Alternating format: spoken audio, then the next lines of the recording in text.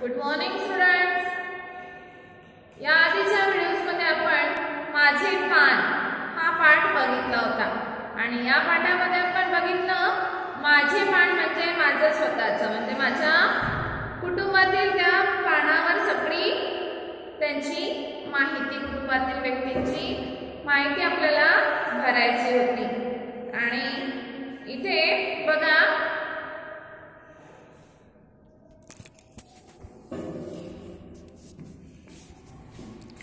बघा हे होमवर्क सुद्धा सांगितलं होतं मी तुम्हाला. इथे स्वतःचा फोटो लावायचा होता आणि मग इथे स्वतःचं नाव लिहायचं होतं.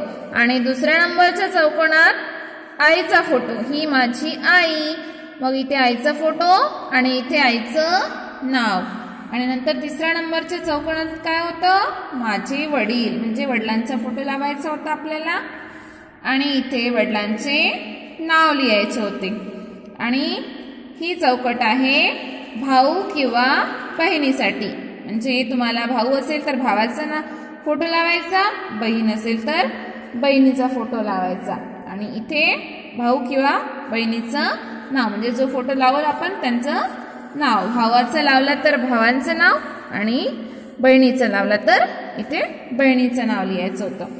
आणि खालची चौकट बघा ही माझी आजी. तर हा आजीसाठी ही चौकट आजीसाठी. आणि इथे आजीचा फोटो लावायचा आणि या इथे आजीचं नाव लिहायचं.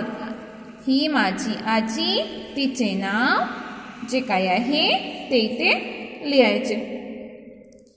नंतर बघा ही चौकट आहे आजोबांसाठी. मग इथे काय करायचं होतं आपल्याला? आजोबांचा फोटो लावायचा आणि मग इथे आजोबांचं नाव लिहायचं. हे माझे आजोबा. त्यांचे नाव तुमच्या आजोबांचं जे नाव असेल ते तिथे लिहायचं होतं. ठीक आहे? चला तर आज आपण बघणार आहोत पाठ क्रमांक सत्तावीस चित्रात काय? आता आपल्याला काय करायचं आहे चित्राचं निरीक्षण करायचं आहे. किती चित्र दिलेली आहेत? एक दोन तीन. तीन चित्र दिलेली आहे आणि त्या चित्रांचं आपल्याला निरीक्षण करायचं आहे बघा आता हे पहिलं चित्र. पहिल्या चित्रामध्ये कोण कोण आहे? एक ही मुलगी आहे हा मुलगा आहे आणि ही त्यांचे सर आहे. ते त्यांना गुरुजी म्हणतात. मग ते गुरुजी त्या मुलांना फिरायला घेऊन आले आहे आणि ते गुरुजी बोटाने काहीतरी दाखवत आहे त्यांना. काय दाखवत आहे बोटाने? बघा इथे काय आहे? पक्षी आहे. झाडावर बसलेला पक्षी आहे. तो पक्षी ते गुरुजी मुलांना दाखवत आहे. तर या मुलीचं नाव काय आहे? हा मुलाचं नाव आहे ते अमर. आता हिचं नाव काय टाकायचं आपण इथे? छकुली. ठीक आहे? तर ते गुरुजी म्हणत आहे अमर तो बघ पक्षी. तो पक्षी बघ. बोटाने काय दाखवत आहे ते? अमरला पक्षी दाखवत आहे. आता दुसऱ्या चित्राचं निरीक्षण करू आपण. ठीक आहे? बघा या चित्रामध्ये आपल्याला काय दिसत आहे? एक झोपडी दिसत आहे. झाड आहे झोपडीच्या बाजूला. इकडे खूप सारे असे क्लाउड आलेले आहे. गुरुजी आहे मुलगी आहे आणि हा मुलगा अमर आहे. तर आता या चित्रामध्ये कोण काय दाखवत आहे? ही जी मुलगी आहे छकुली छकुली काय दाखवत आहे? अमरला दाखवत आहे. अमर ती झोपडी बघ. काय म्हणत आहे तो? ती झोपडी बघ. आता इथे आपण पक्षी दाखवला आहे गुरुजींनी. म्हणून आपण काय म्हटलं? तो पक्षी. म्हणजे तो म्हणजे पुल्लिंग आहे. पक्षी तो पक्षी. म्हणून त्याला काय म्हटलं आपण? तो. आता ही झोपडी काय आहे? झोपडीला ती पक्षी म्हणायचं. तो ती ते आपल्याला कशा प्रकारे कुठे वापरायचं आहे? हे इथे दाखवलेलं आहे. आता झोपडीला तो झोपडी म्हणू का आपण? नाही होणार.